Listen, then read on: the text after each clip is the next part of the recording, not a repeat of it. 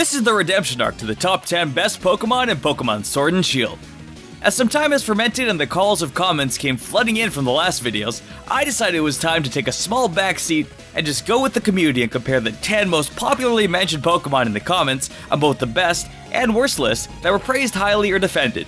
These are the 10 Pokemon you all brought up as being the best, and while I know some of these are ones being defended because I mentioned them in the worst list, almost all of them are ones that were said to be missed as being some of the best in this generation of such a small village of Pokemon. Also, there's one Pokemon I had to apologize and make up for, so I thought this video would suit. so just like that, here we are making a classic YouTube apology video. Welcome to the top 10 best, capitalized because it's definitely correct this time, Pokemon in Pokemon Sword and Shield. Number 10, Ponyta. With Galarian Ponyta being one of the Pokemon asked to be traded the most, I can imagine its popularity runs a lot higher than I gave it credit for. The Cinderella before it puts its shoes on and becomes a fairy Pokemon does bring a wondrous amount of color to the new games. It's only available in Pokemon Shield, however, and seeing as a lot of people went for Sword, I can see why there's an influx of trade requests being asked for the magical animal. I wasn't entirely sure why it was a version exclusive Pokemon in Pokemon Sword, but then I realized it made sense because the My Little Pony fanbase is incredibly defensive.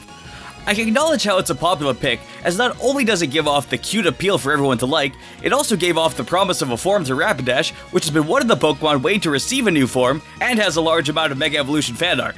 Galarian Ponyta also manages to bring in some newly highlighted nostalgia from the old days of Gen 1, when it was a simpler time of thinking there was only 150 Pokemon, as if Mew was just cut from the decks. It brings its own form of heat in its design, and it's a rather appealing Pokemon to maintain some stable in gameplay.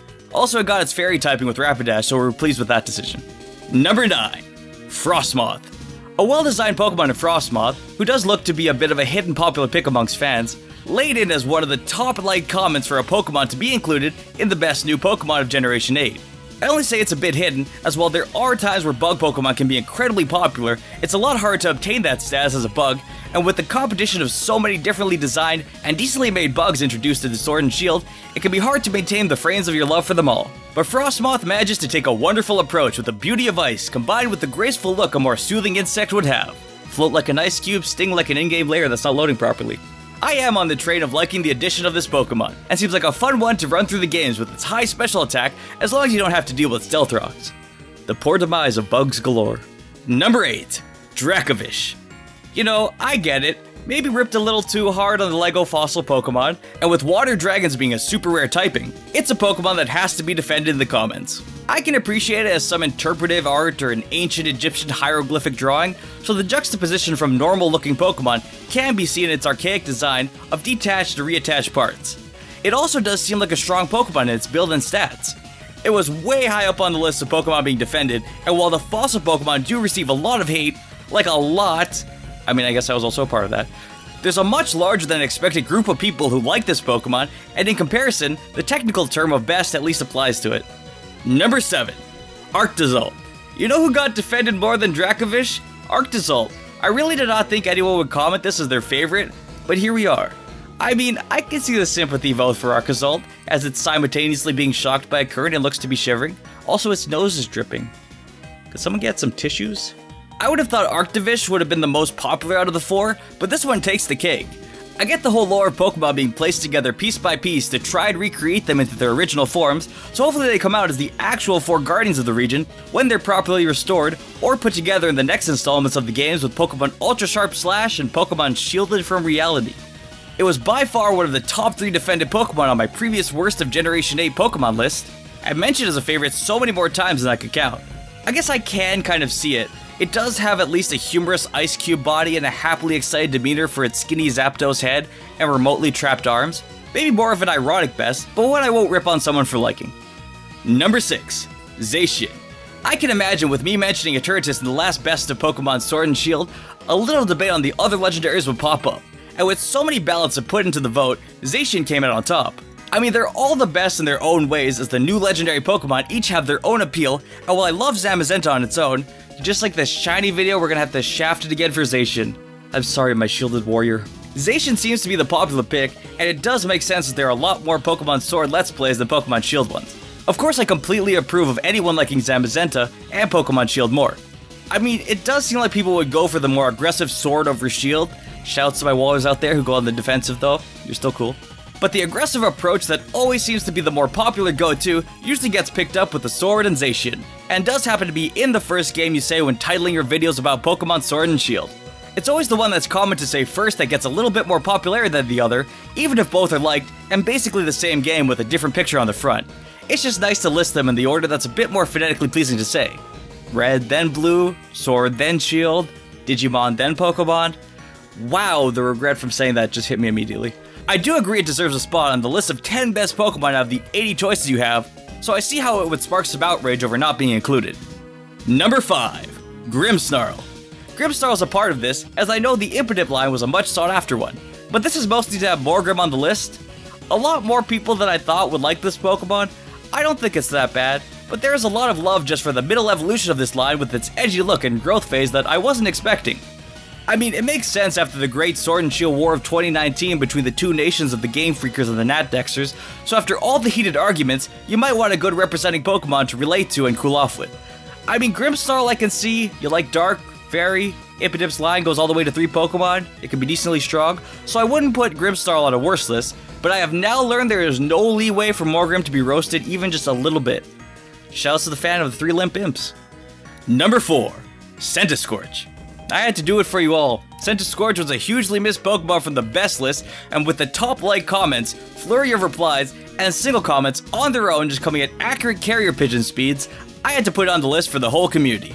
I mean, Sizzlipede has its own challenge of being caught with a low chance of even encountering one, and eating Flame Body on the first person you have to attract it in the wild.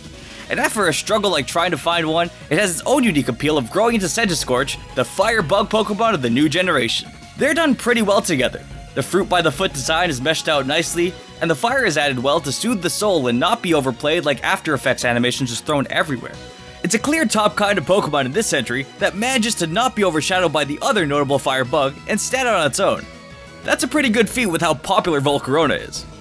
Just a little section before we get into the top 3 of this list, with an honorable mention to our little boy Obstagoon. Three people commented about it while I was recording this, so I had to give it some love. An honorable design. Number 3 Perrserker. Really? I wasn't sure here. I get the dislike for Alolan Persian. I don't think it's that great. Alolan Meowth might as well be, well, just recolored. But Perrserker, like number one on this list was my fault entirely. And while I can appreciate Perrserker from another point of view than just what I said, I didn't expect that big of a response. I don't think Perrserker is that bad to where it's like lactose intolerant so you can't enjoy a vanillish dislikable, but so many people said it was one of their favorite Pokemon, which I was not expecting. I know there are some people who say that the quality of Pokemon has gone down and we don't have many to choose from, so we're just really settling with what we've got. And that's somewhat true both in statement and that I'm literally saying it out loud into a microphone right now. But you know, I guess I can relate to the appeal. The more mischievous, might steal your wallet when you're not looking kind of look, and as a jokester Pokemon, that's surprising as we didn't expect they'd make a new evolution for Meowth that isn't a Persian version. Is it fair to call Galarian Meowth Glameowth, or is that just too apparent of a hint towards Generation 4 remakes? I was expecting like maybe a skew to be defended, but in hindsight I do understand how Perrserker could be one of the best. In its funky look, it might be something to look forward to of how it acts in the anime. Number 2. Wooloo. The most ass Pokemon that wasn't on either list. Where's Wooloo is my new text notification. But Wooloo is not a woo loser, it's a win lure. Cause not as many people mention Yamper over Wooloo, so that's just a defaulted vote. Oh wait, I mentioned Boltund, I guess that kinda counts.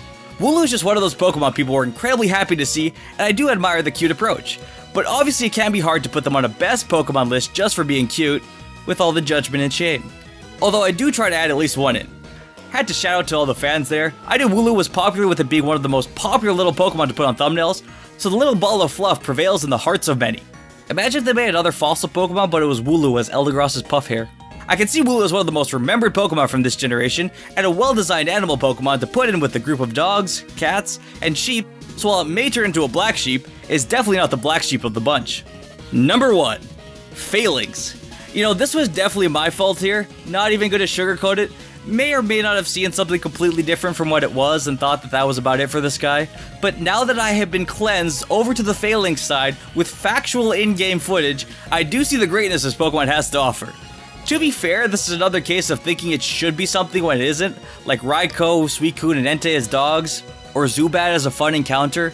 But as I have now learned, this Pokemon is a creation of a formation by the soldiers where they surround themselves in armor and continue in a conga line known as the F Trojan Horse.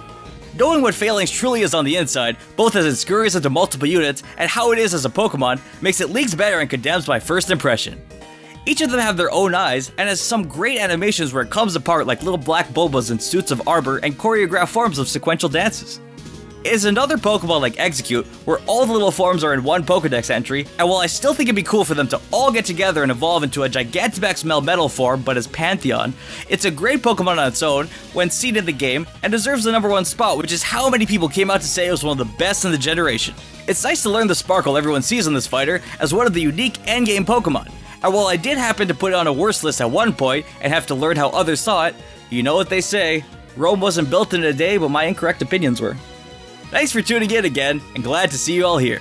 Really enjoying interacting with you all, and I'm hoping everyone's having a good time. I'll definitely make sure to look over the comments of all these videos, and please make sure to leave a like and subscribe to help me out, as well as checking out any of the videos you see here on the screen. Until next time, see you then.